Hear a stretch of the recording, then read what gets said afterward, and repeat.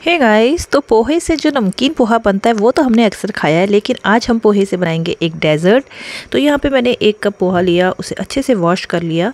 और ये देखिए तो इसमें जो क्या होता है, जो गंदगी होती है, वो निकल जाती है और फिर पानी निकाल के हम उसको थोड़ी देर रेस्ट करने देंगे। इससे क्या होगा कि जो पोहा है, वो हमारा अच्छे से सॉफ्ट भी हो जाएगा और फूल भी जाएगा।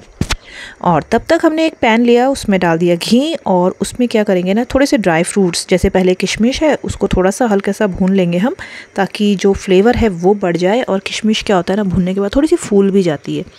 तो ये हम निकाल देंगे और उसके बाद मैं डाल रही हूँ इसके अंदर थोड़े से काजू। तो काजू को भी हमें अच्छे से भून लेना है, बढ़िया सी खुशबू आ जाएगी। तो बस एक मिनट भी नहीं लगेगा आपको, उससे भी कम समय में ये भुन के रेडी हो जाएँगे और जैसे ही हल्का सा गोल्डन कलर आ जाए तो हम उसे साइड कर लेंगे। और उसके बाद एक कटोरी फ्रेश कोकोनट जो होता है ना फ्रेश नारियल, उसे हमने ग्रेट करके रख लिया और उसे भी हमने घी में सोटे कर लिया अच्छे से। यानी जो खुशबू है ना, वो और बढ़ जाती है। अब उसी पैन में मैंने क्या किया है? थोड़ा सा पानी डाल दिया।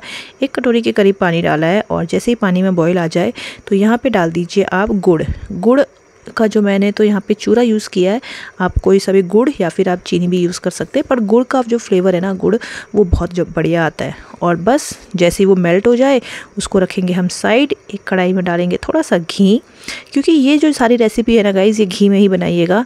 और यहाँ पे जैसे ही घी गर्म हो जाए, वो जो पोहा हमने भिगो के रखा हुआ था सॉफ्ट हो चुका है, उसके अंदर हम डाल देंगे और इसको भी एक से डेढ़ मिनट के लिए अच्छे से भून लेंगे, ताकि जो पोहे में ना घी का फ्लेवर अच्छे से आ जाए। तो ये देखिए अच्छे से रेडी हो गया अब वो जो गुड़ वाला पानी हमने बनाया था, उसे फिर से गर्म करेंगे और ये जो पोहा था, ये हम इसके अंदर डाल देंगे। फ्लेम को यहाँ पे अभी हमने मीडियम लो रखा है और दो तीन हरी इलायची भी दरदरी कूट के हमने इसके अंदर डाल दी। बहुत बढ़िया खुशबू और फ्लेवर आता है। और ये देखिए मिक्स कर दिया।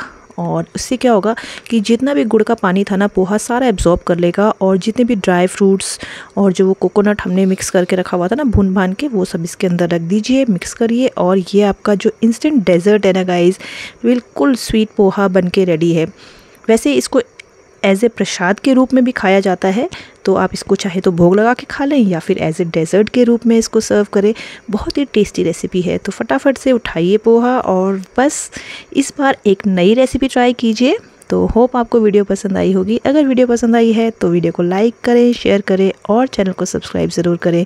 और हर रोज़ मेरे साथ ऐसी इंटरेस्टिंग और इजी रेसिपीज़ के बने रहिए। तब तक के लिए थैंक यू फॉर वॉचिंग